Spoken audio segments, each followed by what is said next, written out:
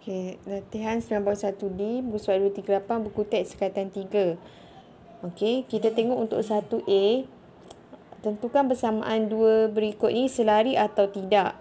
Nak tentukan dia selari atau tidak, mesti M1 sama dengan M M2. Okey, so kena cari M dulu. Kat sini tak ber, tak susun dalam keadaan Y MX tambah C. So kita tengok ni sini 3y tolak 6x tambah 3.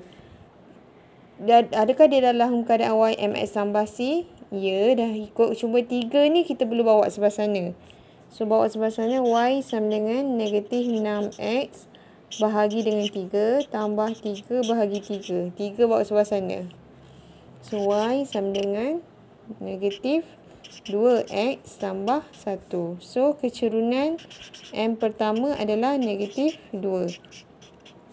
Kita tengok pula kecerunan untuk persamaan ni. Adakah dia negatif 2? Kalau dia negatif 2, dia selari. Okey, tengok. Kita mesti susun dalam keadaan Y, MX tambah C. Okey, ini Y tambah 2 sama dengan 14. Okey, apa yang tak sepatutnya dekat sini? 2 kan? 2 bawa 2 ni C. So bawa 2X sorry. 2X ni adalah kecerunan dia. So bawa sebelah sana jadi to tolak Y sama dengan tolak 2X 14 ni ke belakang je. Tambah 14 ha, so kecerunan dia berapa? Negatif.